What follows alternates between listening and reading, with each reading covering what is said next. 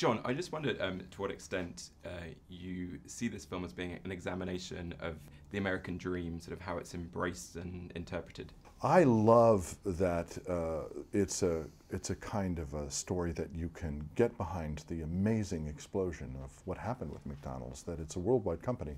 People can uh, poo-poo it all they want, but they go. People go to McDonald's all over the world, and they love it. So there must be something they like, but they're also left with a sense of wow, uh, maybe I'm not comfortable with what that means. Maybe I'm not comfortable with. Um, what the cost was, not only in terms of the, the loss, the feeling of loss that you learn about from the McDonald's brothers, but also Harry's loss later on in the story that you discover, uh, but also the sense that we've made this thing that has transformed the way we eat, transformed the food industry, transformed everything about how we relate to our food, and is that actually a good thing? uh, I think we're left to ask that question, which is a good question for us to ask. And Nick, can you give us a bit of an insight on who the McDonald's brothers are as we see them in the movie and how maybe what they stand for contrasts a bit with, with Ray? Sure. Uh, you know, it was very gratifying to play these hardworking brothers uh, in an old-fashioned American sense. You know, they, they tried their hands at a few different businesses. They had dreams, but they were all uh, realistic dreams. You know, what, what Ray Kroc ended up doing with their idea could never they could never have fathomed.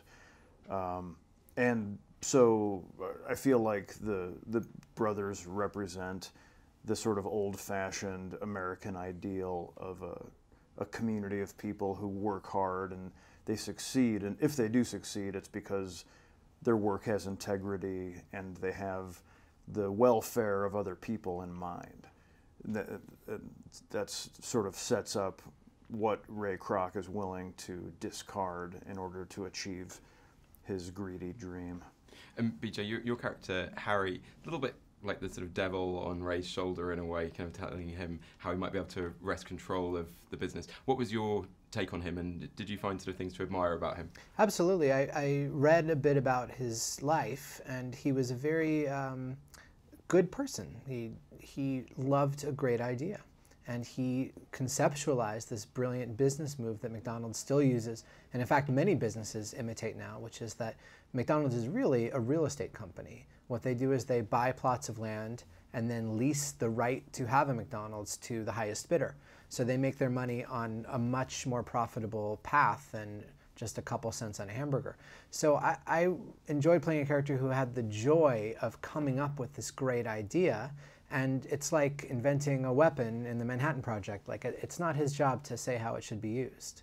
And I love the relationship between the two brothers. How, how did you go about sort of creating that kind of convincing fraternal relationship? They've been very comfortable in each other's presence, don't they? And we had the good fortune of, uh, of having some rehearsal, which was nice, but, but also it was easy to, you're an easy man to love.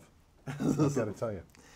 Uh, I, I, really, I really appreciate uh, uh working with uh, Nick. I, I loved working with him, and it was it felt we have a theater background, both of us in different ways, but that felt like it came to play uh, in the way in which we related. So that was fun.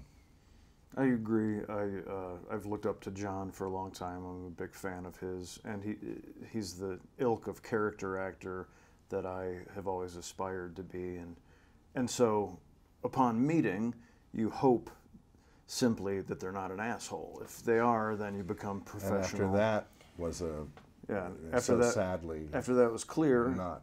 Uh, I uh, donned a mask of professionalism and uh, did your job and friendliness. I'm glad it worked. Nick, John, BJ, thanks very much. Thank Congratulations on the founder. Thank you. Ladies and gentlemen, you're watching Hey You Guys! Hey You Guys, huh? Hey You Guys. Is that from the Goonies? It is indeed, Nice. Hey!